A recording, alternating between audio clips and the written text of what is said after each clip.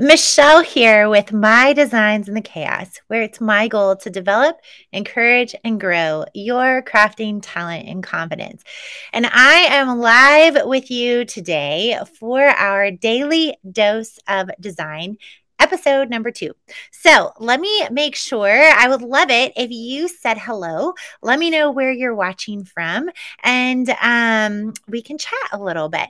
So today I am going to be answering the question what software can I use to make SVG files? So, yesterday we talked a little bit about the background of what an SVG file is and why it's important, like why that's the type of file that we need to be able to use inside of our software. And today I want to talk about where can we actually make these at. Hey, Diane, I'm glad that you're here. Um, so, we are live on episode number two of our daily dose of design, where I'm going to be going live live every single day for the next 30 days, giving you daily tips, tricks, and answering your questions about SVG files. Hey, Janet. Hey, Barbie. Hey, guys. I'm glad y'all are here. So today, I'm answering the question what software can I use to make an SVG? And if you see me looking to the side, I have notes written out on purpose to make sure I stay on track because those of you guys who know me know sometimes I like to chat. So I want to make sure I stay on topic and keep these um, short and sweet and straight to the point. So, hey, Jerry, I'm glad that you guys are here.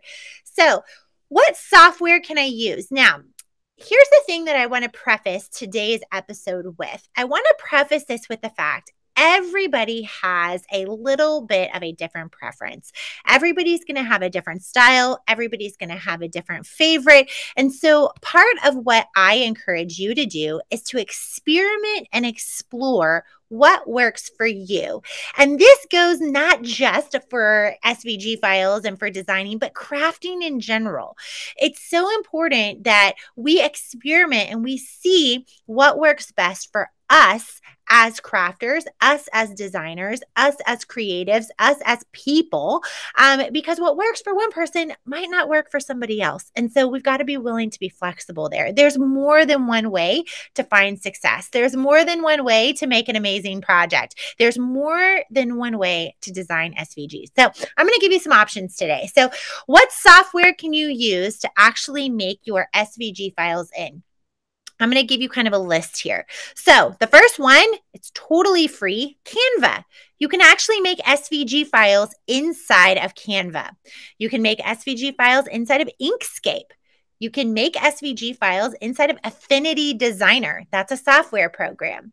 You can make SVG files inside of Adobe Illustrator. You can make SVG files inside of Silhouette Studio Business Edition.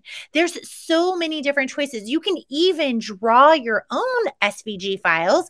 They would start off as a, um, a raster image. You can draw them in Procreate and convert them into an SVG file. And so you have, that's just listing a couple right off the top of my head, six spots that you can go make an SVG file in. Now, a couple of those places you have to be cautious because you can't just take what's on Google and convert it into an SVG and then publish it as your own. That's totally different converting something than actually designing an original file. And so I want to make sure that we're clear there. There's a big distinguishing mark between converting a file versus designing your own file from scratch. And so in some of these software programs, it's actually they're designed more to convert things versus actually design from. So, my absolute two favorite softwares that I'm very familiar with and that I love the most to be able to design in, I want to talk about those for a minute. So, the two that I absolutely love are Inkscape and Illustrator, Adobe Illustrator. So Inkscape, it's a 100% free software. And then Adobe Illustrator, which is a very, very powerful program. So those are my absolute two favorite. I've designed in both of them. Um, I consider myself pretty proficient in both of those softwares. Um, they're very similar to each other. Um, so once you kind of have one, then you can become pretty familiar with the other one as well. So let me talk for a second about why those two two software programs are my favorite. Number one, why Inkscape? Inkscape is totally free. Like you can go to inkscape.org, I believe, right now, download it onto your computer and start designing and saving SVG files today. Okay. It's a great software for you to get in, get your feet warm, kind of experiment a little bit in there and be able to play around. The thing I don't like about Inkscape is it can be kind of glitchy at times. It is totally free. They're always coming up with new updates, but it can, you know, just shut down. I've had more than one occasion. I've been in the middle of designing a file, it gives me an error and it'll just shut down. So you have to be cautious of that. The other software that I absolutely love to design in is Adobe Illustrator. I love, love, love it. It is hands down my absolute favorite. It's where I actually design all of my own SVG files in. And I'm going to show if you're curious as to, well, what types of designs does she make? What do they look like?